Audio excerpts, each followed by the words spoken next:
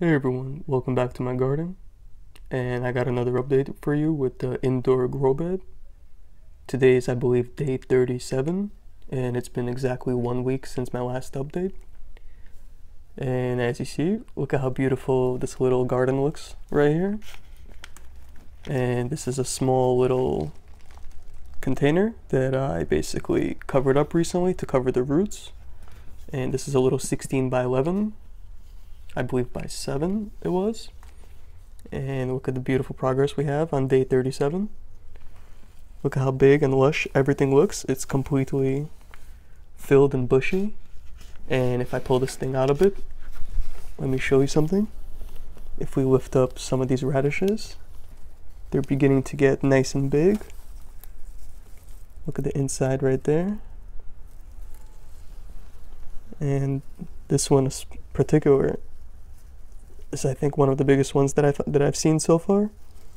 And the crazy thing is, it's basically just growing above the ground, and it has a tiny connection to the coco coir at the very bottom. So I mean, I've never grown radishes like this above the ground before, and it's due to getting so leggy. But nonetheless, I'm still pretty happy with the results. And when you like move all this crazy bush to the side, you could see all the radishes basically laying there and getting nice and big. Some are obviously bigger than others, but it's looking really beautiful and I'm pretty happy with the results right now. I wasn't sure if the radishes would work and if it would grow this way since it got so leggy, but for those of you who are growing plants and radishes in particular, if they get a tiny bit leggy, don't worry about it. Don't just go and pull them out and kill the plant. Let it do its thing and it might surprise you. Sometimes nature takes over and grows very well. Look at these beautiful lettuce leaves that are poking out all over the place. This is nice little Lolla Rossa sprinkled throughout and this is one of my favorite lettuces to grow. It's very sweet and buttery and quite delicious. I really enjoy it. It grows very quick and it stays nice and compact and short, which is nice. Here's actually an example of it growing right here. And as you see, beautiful purple and green leaves.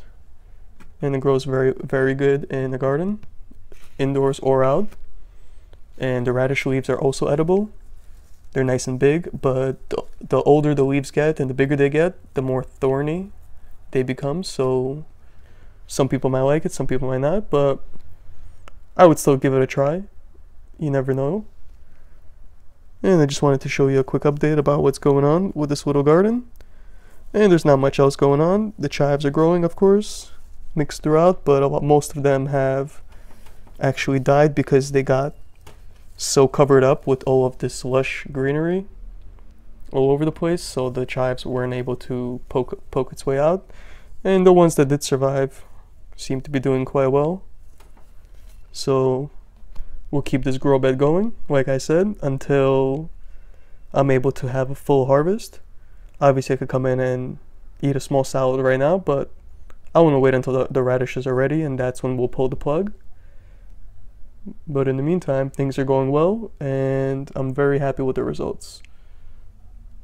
So as always, don't forget to hit the thumbs up and subscribe.